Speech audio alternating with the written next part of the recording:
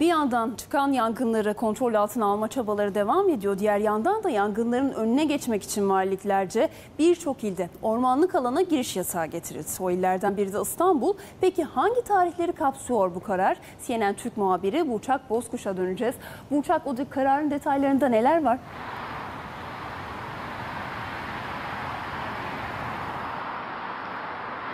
Evet Büşra İstanbul Valiliğinden bir son dakika açıklaması geldi. Dakikalar önce ve İstanbul'da tüm ormanlık alanlara girişler yasaklandı. Açıklamayı İstanbul Valisi Ali Erlikaya dakikalar önce sosyal medya hesabından yaptı ve şöyle dedi.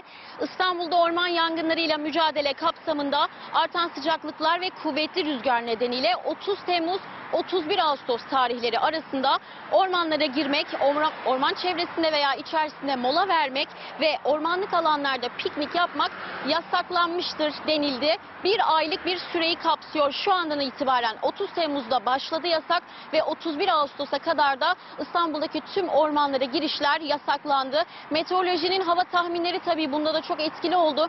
Çünkü hava sıcaklıklarının artacağı öngörülüyor. Mevsim normallerinin üstüne çıkacağı öngörülüyor ve kuvvetli rüzgarla da birlikte olası bir yangının önüne geçmek için ormanlık alanlara girişler yasaklandı. Bir aylığına diyelim açıklamayı İstanbul Valiliği yaptı.